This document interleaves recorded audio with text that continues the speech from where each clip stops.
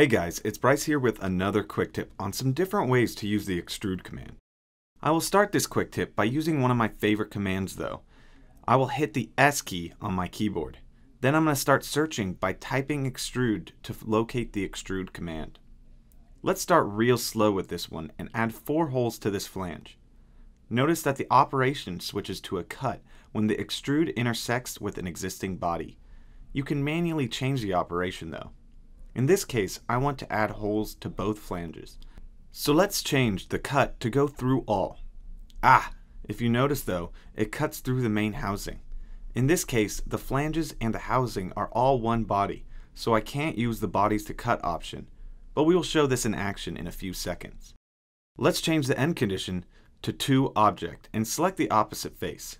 This will ensure if the thickness of the flange ever updates, the cut for the holes will always go the correct distance. Now let's use the same sketch. I will turn it back on by hitting the light bulb. I will use the same sketch profiles, but this time let's change the start condition. Here we will use the From Object option and select the face on the opposite flange. Now I can use this arrow to start driving the extrude and it will start from the selected face. But I want to drive this extrude parametrically again, so let's change the end condition to to object. Now here's a bonus tip. I want to select the face on the opposite side of this flange without rotating. Hold your left mouse button down for an extra second and a list will appear with entities that are in the location of my cursor. I'll pick the face and boom, the extrude is complete. The main advantage of using one sketch is that if I ever need to make a design change, I only need to edit one sketch. Next I want to start working on the flange this valve connects to in this design. I want to incorporate a 4mm tolerance from my current sketch plane. So let's use the extrude tool once more. But this time, let's change the start condition to offset plane. Here we can key in a value for the offset. This is saving me from manually creating an offset plane for this connecting flange. Finally, I want to cut a hole through this plate so it has a 2mm offset from this shaft.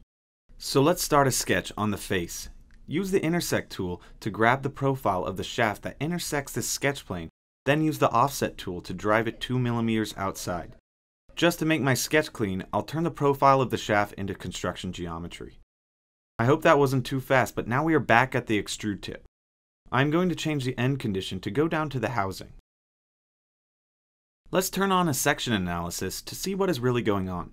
Right now the extrude cut obliterates everything in its path, but I just want it to affect the gland plate. Let's expand the objects to cut.